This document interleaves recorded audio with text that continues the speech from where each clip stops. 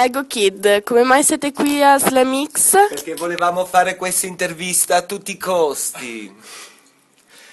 Perché no. crediamo nella causa, ovviamente. Perché crediamo che il Conchetta debba vivere a lungo, perché altrimenti questa città perderebbe una fetta importante di cultura cittadina, di controcultura cittadina, di vita sul territorio, di tutte le cose nelle quali da, da, tempo crediamo e ci credono tutte le persone che sono qua stasera, e sono tante. Fare leggere assessore alla cultura, è proprio vero.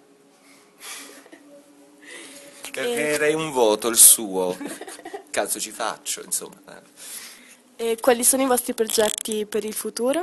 Stiamo realizzando un disco nuovo dopo Eceomo, dopo due anni, e sarà anche una cosa un po' diversa dal, dal disco pop molto ironico che abbiamo fatto, sarà un po' più mazzata sì, un disco che, dove, dove, esprimiamo delle cose che sono come quelle urgenti, però nel frattempo l'urgenza è anche andata un, si è un po' incazzata, sì. Po Tutte incazzata. le cose vanno a male a un certo punto.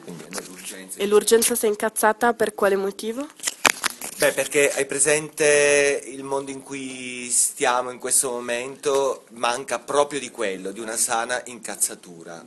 In realtà ci siamo lasciati con i rispettivi uomini. Anzi, no, lui no. Ma tu no. Io mai? Sì.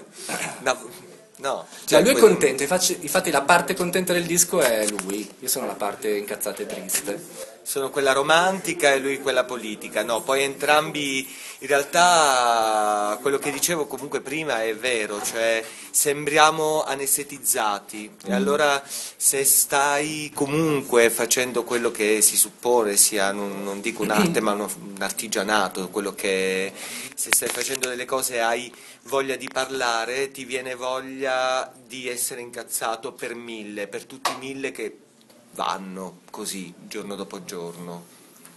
Questa cosa a noi sembra importante. ma esistenziale, anche un po' pessimismo cosmico esistenziale. È poi anche un album molto in realtà sul concetto di rigenerazione, nel senso che non è un soltanto, questo era un album più di critica sociale, ironico, mentre quest'altro è più un, un disco che vuole la palingenesi, insomma cerca quella specie di tensione verso qualcosa che ancora non si sa bene, però è come aver chiuso pagina ed essere pronti a voltare pagina, c'è un po' questa sensazione di liberazione di tutto nuovo, è un po' la cosa anche che abbiamo noi insomma in questo momento.